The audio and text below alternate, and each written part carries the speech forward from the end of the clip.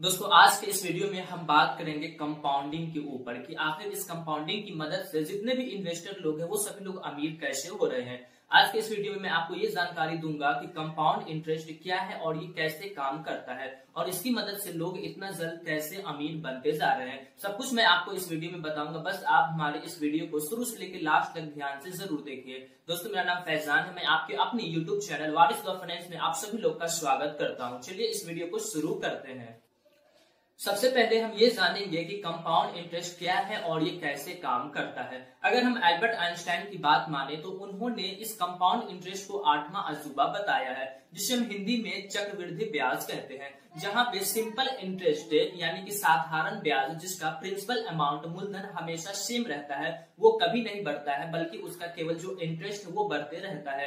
लेकिन वही compound interest में बिल्कुल उल्टा होता है। कंपाउंड इंटरेस्ट में जो हमारा प्रिंसिपल अमाउंट है, मूलधन है, वो हमेशा बढ़ते रहता है।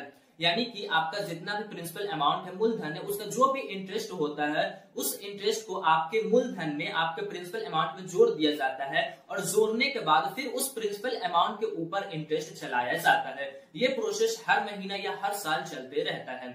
आपको बेहतर तरीके से कंपाउंड इंटरेस्ट और सिंपल इंटरेस्ट में फ़र्क समझ में आया इसलिए मैं आपको एक चार्ट दिखाना चाहता हूँ, जिसमें मैंने ये बताया है कि सिंपल इंटरेस्ट का जो ब्याज है वो कितना तेज़ी से बढ़ता है और जो कंपाउंड इंटरेस्ट का जो ब्याज है वो कितना तेज़ी से बढ़ता है। इस चार्ट को आप एक बार ज़रूर ध्यान से देखें। इस चार्ट में हमने पहले कॉलम में टाइम को लिया है, जो कि हमारा ये तीस साल का रेशियो होने वाला है। और दूसरे कॉलम में हमने एनुअल रिटर्न यानी कि हर साल जो हमें रिटर्न मिल रहा है, वो है हमें बारह परसेंट इसको हमने लिया है। और तीसरे कॉलम में जो हमारा प्रिंसिपल अमाउंट है, वो है हमारा एक लाख रुपए। तो अब हम देखते ये हैं कि हमें 30 साल के बाद हमें एक लाख के ऊपर हमें सिंपल इंटरेस्ट में कितना अमाउंट हमें मिलता है और कंपाउंड इंटरेस्ट में हमें कितना अमाउंट मिलता है। जैसा कि यहाँ पे हमने एक साल, पाँच साल, दस साल, पंद्रह साल और तीस साल तक का रेशियो लिया है। तो मैं डायरेक्ट आपको तीस साल तक का बताता हूँ कि आपको इसमें कितना डिफरेंस और कितना कितना अमाउंट मिला है।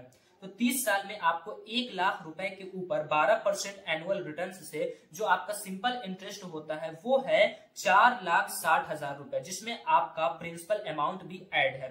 प्रिंसिपल अमाउंट और इंटरेस्ट को ऐड करके आपको सिंपल इंटरेस्ट चार लाख साठ हज़ार रुपए मिलते हैं। लेकिन वही कंपाउंड इंटरेस्ट में अगर हम बात करें तो यहाँ पे आपको प्रिंसिपल अमाउंट और इंटरेस्ट जोड़ करके यहाँ पे आपको उनतीस लाख पंचानवे हज़ार रुपए मिलता है। तो यहाँ पे डिफरेंस आपको साफ़ साफ़ दिख रहा होगा कि कहा सिंपल इंटरेस्ट में एक लाख का आपको चार लाख साठ हज़ार रुपए दिया जा रहा है तीस साल के बाद। लेकिन वही कंपाउंड इंटरेस्ट में उसी एक लाख रुपए के ऊपर आपको यहाँ पे उनतीस लाख पंचानवे हज़ार रुपए दिया जा रहा है। इस चार्ट को देखने के बाद आप सिंपल इंटरेस्ट और कंपाउंड इंटरेस्ट में क्या फ़र्क है और कंपाउंड इंटरेस्ट किस तरीके से काम करता है, इस चीज़ को आप समझ चुके हो। इस चार्ट को देखने से मुझे एक कहानी याद आ रही है। एक राजा और एक फकीर की कहानी।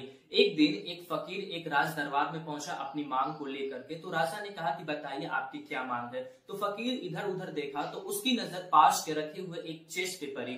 फकीर ने कहा राजा से कि मुझे ज़्यादा कुछ नहीं चाहिए, बस ये जो चेस्ट रखा हुआ है इसके अंदर चौसठ डब्बे हैं। मुझे एक डब्बे पे एक चावल का दाना दिया जाए और उसके अगले डब्बे पे उसका डबल करके दिया जाए और अगले डब्बे पे उसका डबल करके दिया जाए। यानी कि हर एक डब्बे पे डबल कर करके दिया जाए। मतलब ये कि एक डब्बे पे एक चावल का दाना, दूसरे डब्बे पे एक का दो चावल का दाना और तीसरे डब्बे पे दो का चार चावल का दाना। ऐसा कर करके चौसठ में डब्बे पे जितना चावल का दाना होता है, मुझे उतना दिया जाए।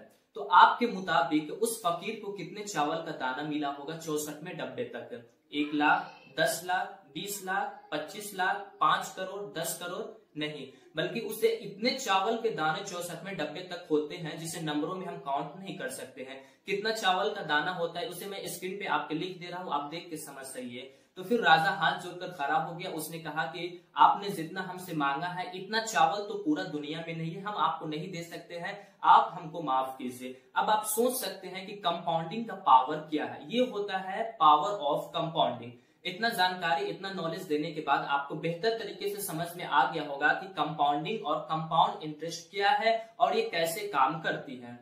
तो चलिए, अब ये भी जान लेते हैं कि जितने भी इन्वेस्टर लोग हैं, वो सभी लोग कंपाउंड इंटरेस्ट की मदद से कैसे अमीर हो रहे हैं। तो जैसा कि आपके चार्ट में देखा है कि सिंपल इंटरेस्ट और कंपाउंड इंटरेस्ट में क्या फ़र्क है और दोनों कैसे काम करता है, ये चीज़ आपको क्लियर हो गया है। तो इन्वेस्टमेंट भी दो प्रकार के होते हैं। पहला वो इन्वेस्टमेंट है जिसमें आपको सिंपल इंटरेस्ट दिया जाता है, जैसे कि बैंक एफ़ फिक्स डिपोजिट इसमें आपको सिंपल इंटरेस्ट दिया जाता है, केवल आपका इंटरेस्ट बढ़ता जाएगा। लेकिन कुछ ऐसे भी इन्वेस्टमेंट है जिसे दूसरे नंबर पे कहते हैं, कुछ ऐसे भी इन्वेस्टमेंट है जिसमें आपको कंपाउंड इंटरेस्ट दिया जाता है। यानी कि जो अपने चार्ट में जो कंपाउंड इंटरेस्ट दिया है सेम वही इंटरेस्ट आपको उस इन्वेस्टमेंट के ऊपर भी दिया जाता है। अब यहाँ पे दो प्रकार के इन्वेस्टमेंट है तो जितने भी समझदार इन्वेस्टर है, वो सभी इन्वेस्टर अपने पैसे को जहाँ पे उन्हें कंपाउंड इंटरेस्ट में मुनाफा मिलता है, वहाँ पे वो अपने पैसे को इन्वेस्ट करते हैं। जिस वजह से उनका वेल्थ जल्द से जल्द क्रिएट होता है और वो बहुत जल्द ही अमीर होते जा रहे हैं। और इसी वजह से जितने भी